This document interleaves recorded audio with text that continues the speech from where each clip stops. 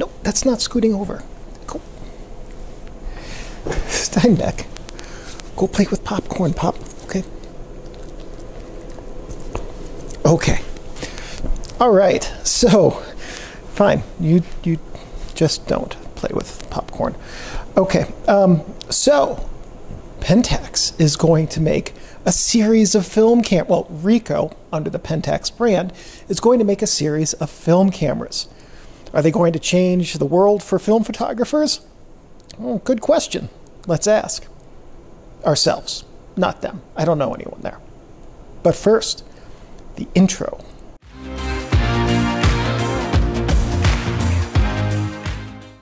All right, so today I am enjoying. Sorry, new year, new me, can't see anything. Uh, the the Mediano roast from De Vuelta a Ti. I apologize to all of my Spanish speaking audience for that pronunciation. Coffee in Chapala, Mexico.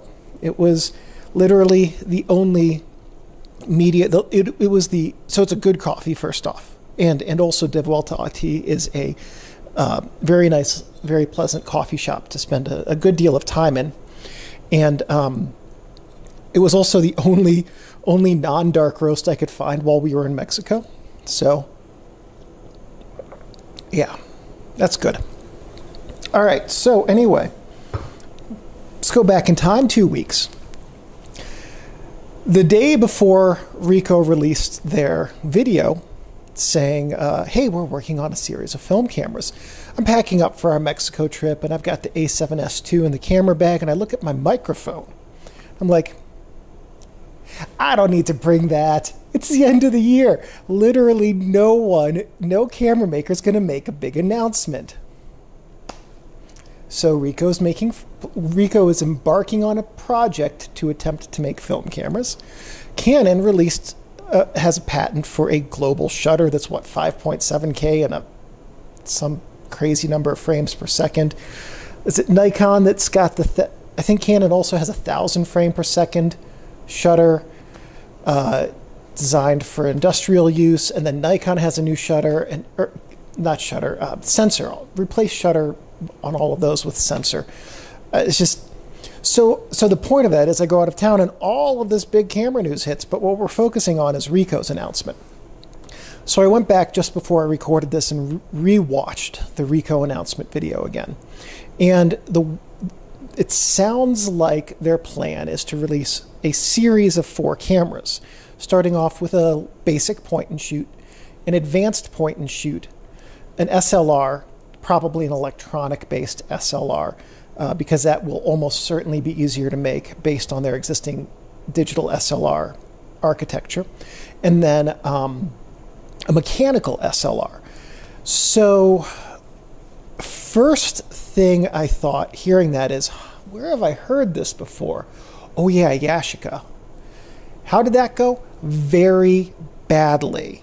So, uh, Ricoh, if you guys are watching, if your plan is to take one of these plastic, fantastic Kodak M38 Ilford Sprite double film show type cameras, put the Ricoh Pentax badge on it and release it, stop right now. Don't do that. You will undermine all of your credibility in the film photography space if the first thing you release is one of these plastic cameras that is just a rebadged version of one that I can buy on AliExpress for $20.17. How do I know that price? Because I bought one last night for $20.17. So um, don't do that. The only way that plan will work is if you take out the stock lens that comes in those the the molded or the uh, the the cast formed whatever acrylic lens that those come with and replace it with a custom lens design of your own that is optical glass and has your coatings in it. That's the one way that that approach has any credibility. But realistically, and, and it does, it's hard to read between the lines in the, the announcement whether or not that is in the cards. My sincere hope is no, that Ricoh is not going to do that. Um, if if Ricoh comes out with a, a, little point and shoot that is their own design, it's even if it's a simple one, uses their own lenses. I think this project has legs. If they rebadge one of these these Chinese-made cameras that uh, are coming out at way overpriced prices um, under Agfa, Ilford, and Kodak badges, I think that I think that I would lose complete faith in this project uh, until proven otherwise.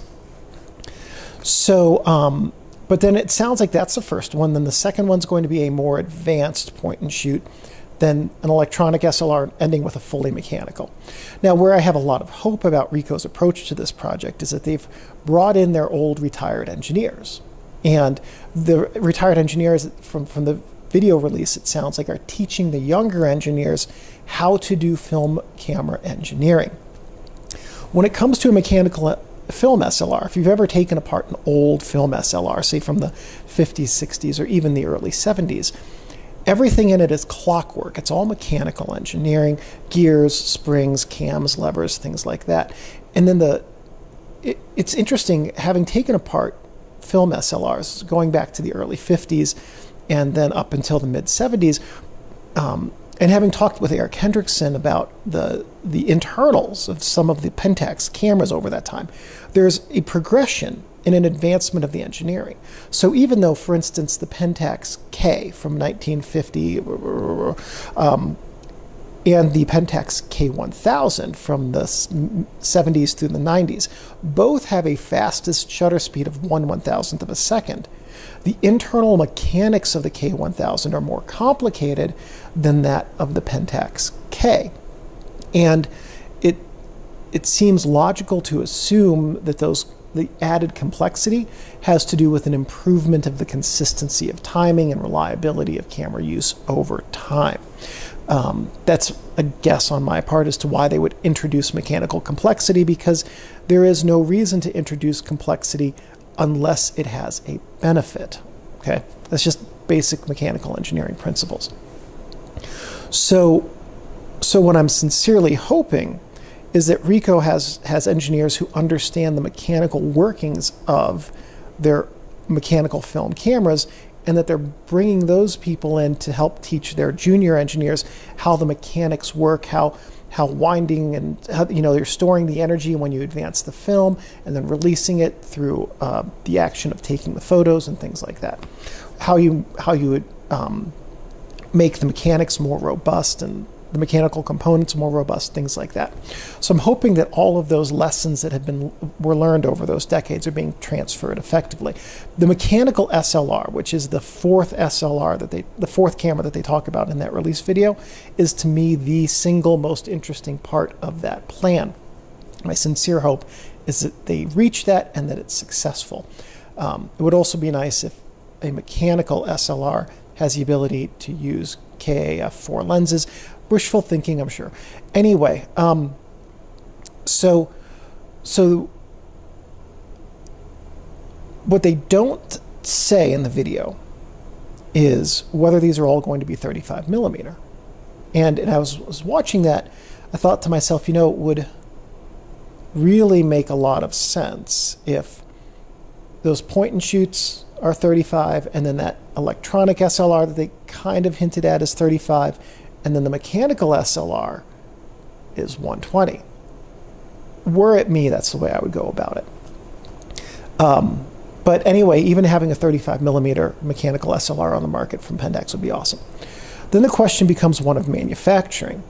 And look, Ricoh's going to have much more well versed manufacturing experts than I am, but were it me, I would use as much laser cutting as possible for this, simply because you can very efficiently get the parts produced in-house right there as needed, do rapid prototyping, rapid correction of design issues, things like that. So, and um, I think that would be a very affordable and easy and reliable way to do it. That would put a whole bunch of supply chain and manufacturing control in Ricoh's hands and probably not increase the cost of the cameras in any meaningful way. So, at any rate, uh, I'm very excited about this. I had wanted to do this video while I was in Mexico, but I didn't have a microphone for it, so I couldn't But anyway, uh, here we are with my new Mexico mug, Mexico 2022, and um, very exciting times in the film SLR world. So, anyway, until next time, and maybe we'll be able, maybe Steinbeck will be friends with Popcorn by then, and she'll be on the the video. Don't know. She's camera shy. Have a good day. See you guys soon.